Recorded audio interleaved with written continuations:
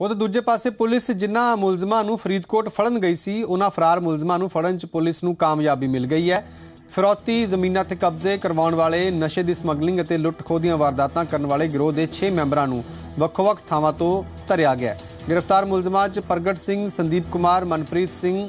ਅਮਰ ਪਤਲਾ, ਗੁਰਵਿੰਦਰ ਸਿੰਘ ਅਤੇ ਰਾਜਨ ਨੇ, ਜਿਨ੍ਹਾਂ ਨੂੰ ਵੱਖ-ਵੱਖ ਥਾਵਾਂ ਤੋਂ ਹਿਰਾਸਤ 'ਚ ਲਿਆ ਗਿਆ ਹੈ। ਪੁਲਿਸ ਦੇ ਮੁਤਾਬਕ ਪ੍ਰਗਟ ਸਿੰਘ ਦੇ ਉੱਤੇ ਕਈ ਵਾਰਦਾਤਾਂ ਤੋਂ ਇਲਾਵਾ 17 ਮਾਮਲੇ ਦਰਜ ਸਨ। इस वारदात के मद्देनजर हमारे डीएसपी डी और डीएसपी जीरा, जिनको इन्फॉर्मेशन थी, ये छः बंदे हमने अरेस्ट किए इसमें। इसमें एक प्रगट सिंह नाम का जो बंदा है, वो बेसिकली क्रिमिनल हार्ट उसके ऊपर सतारह मुकदमे दर्ज हैं।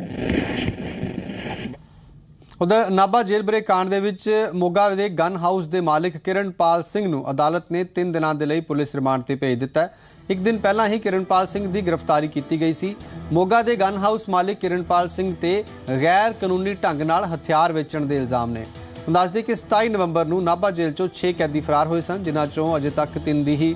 ਮੁੜ ਗ੍ਰਿਫਤਾਰੀ ਹੋਈ ਹੈ, ਤਿੰਨ ਕੈਦੀ ਅਜੇ ਵੀ ਫਰਾਰ ਨੇ ਤੇ ਦੱਸਿਆ ਜਾ ਰਿਹਾ ਹੈ ਕਿ ਮੋਗਾ ਦੇ ਇਸੇ ਗਨ ਹਾਊਸ ਤੋਂ ਇਹਨਾਂ ਮੁਲਜ਼ਮਾਂ ਨੇ ਹਥਿਆਰ ਜਿਹੜੇ ਖਰੀਦੇ ਸਨ ਨਜਾਇਜ਼ ਤਰੀਕੇ ਨਾਲ, ਜਿਨ੍ਹਾਂ ਨੂੰ ਕਿ ਨਾਭਾ ਜੇਲ੍ਹ ਬ੍ਰੇਕ ਕਾਂਡ ਦੇ ਵਿੱਚ ਇਸਤੇਮਾਲ ਕੀਤਾ ਗਿਆ। ਨਾਭਾ ਜੇਲ੍ਹ ਬ੍ਰੇਕ ਮਾਮਲੇ ਤੇ ਜ਼ੀ ਮੀਡੀਆ ਦੀ ਖਬਰ ਤੋਂ ਬਾਅਦ ਜੇਲ੍ਹ ਪ੍ਰਸ਼ਾਸਨ ਮੁਸਤੈਦ ਨਜ਼ਰ ਆ ਰਿਹਾ, ਜਿਸ ਦੇ ਤਹਿਤ ਜੇਲ੍ਹ ਵਿਭਾਗ ਵੱਲੋਂ ਸੂਬੇ ਦੀਆਂ ਸਾਰੀਆਂ ਜੇਲ੍ਹਾਂ 'ਚ ਚੈਕਿੰਗ ਮੁਹਿੰਮ ਚਲਾਈ ਗਈ ਤੇ ਇਸ ਦੌਰਾਨ ਵੱਡੀ ਗਿਣਤੀ 'ਚ ਮੋਬਾਈਲ ਤੇ ਹੋਰ ਪਾਬੰਦੀਸ਼ੁਦਾ ਸਮਾਨ ਦੀ ਰਿਕਵਰੀ ਕੀਤੀ ਗਈ ਹੈ।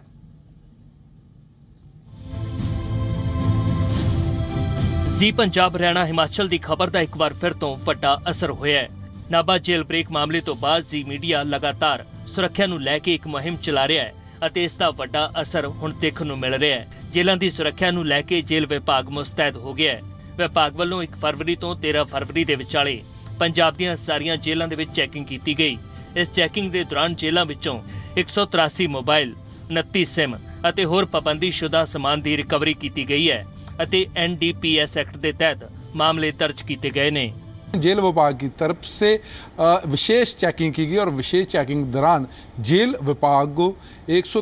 मोबाइल उनतीस सिम और काफ़ी कुछ ऐसा सामान मिला जो शायद पहले जेल विभाग की तरफ से कुछ उनके बारे में अंदाज़ा नहीं लगाया गया था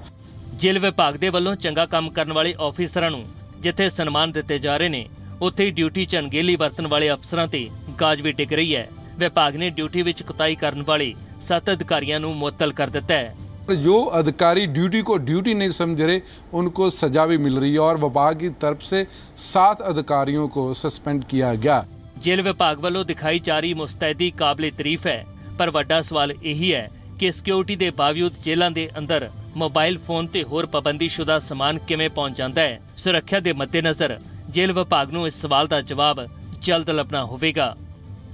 ਜਗਤਾਰ ਭੁੱਲਰ ਜ਼ੀ ਮੀਡੀਆ ਚੰਡੀਗੜ੍ਹ।